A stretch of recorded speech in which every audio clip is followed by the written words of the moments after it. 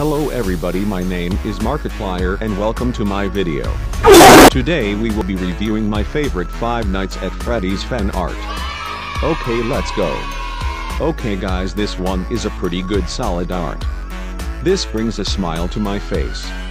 This one is kind of a decent one although it made me fall in love with it. This one is an amazing art, so good it makes my PP solid. And finally my favorite of all, yep, you know it guys this is an absolute well-made art, not cringe at all. Okay guys that's all for today, remember to like and sub. I hope I will find love one day.